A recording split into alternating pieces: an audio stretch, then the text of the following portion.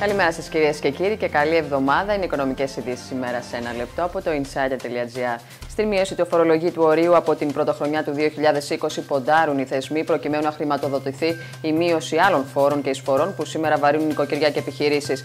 Μάλιστα, φέρονται να έχουν ξεκαθαρίσει σε όλους τους τόνους στον Υπουργό Οικονομικών, Ευκλήδη Τσακαλώτο, και στον αναπληρωτή Υπουργό Οικονομικών, Γιώργο Χουλιαράκη, πως το μέτρο αυτό δεν μπορεί να ανασταλεί. Σύμφωνα με πληροφορίες, οι θεσμοί θα κάνουν ακόμη πιο ξεκάθαρη τη θέση τους για το φορολόγητο στις εκθέσεις αξιολόγησης που θα δημοσιοποιήσουν στο τέλος Φεβρουαρίου. Περισσότερες από 4.000 θέσει σκοπεύουν να καταργήσουν φέτος οι τέσσερις συστημικές τράπεζε στο πλαίσιο μείωσης των λειτουργικών τους εξόδων, σύμφωνα με σχέδιο που βάζει λουκέτο στα μισά καταστήματα την επόμενη τριετία.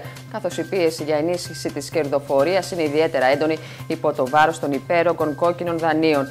Με νέα προγράμματα εθελούσιας εξόδου και μεταφορά προσωπικού σε εταιρείες διαχείρισης κόκκινων δανείων, οι τράπεζες θα προσπαθήσουν να συρρυκνώσουν ακόμη περισσότερο το προσωπικό τους. Μείωση του χρόνου διαδρομής, ασφάλειας στις μετακινήσεις αλλά και σημαντική εξοικονόμηση καυσίμων είναι τα μεγάλα ωφέλη από τα μεγάλα έργα που είτε βρίσκονται σε εξέλιξη και είναι ήδη σε φάση ολοκλήρωσης, είτε ετοιμάζονται να ξεκινήσουν. Όπως το έργο της Ζεύτη Σαλαμίνα Περάματος, το οποίο μπαίνει στην τελική του ευθεία, η σιδηροδρομική γραμμή Αθήνα-Θεσσαλονίκη, η οποία και ολοκληρώθηκε προημερών, η παράδοση των πρώτων 15 χιλιόμετρων του αυτοκινητοδρόμου Ακτίο-Αμπρακία, με τον οποίο διευκολύνεται η πρόσβαση προς Λευκά Δάκτυο και Πρέβεζα, αλλά και η κατασκευή του νότιου τμήματος του Ε65 Λαμία Ξινιάδα, η οποία θα μειώσει σημαντικά τη διαδρομή από Λαμία έως Τρίκαλα από τις 2 ώρες στη 1 ώρα και 30 λεπτά. Ανωδικά κινείται η χρηματιστηριακή αγορά στο σημερινό άνοιγμα της συνεδρίασης με το γενικό δίκτυο να κυμαίνει σε 643,80 μονάδες, καταγράφοντας κέρδη 0,36%. Μικτέ στάσει επικρατούν στα ευρωπαϊκά χρηματιστήρια.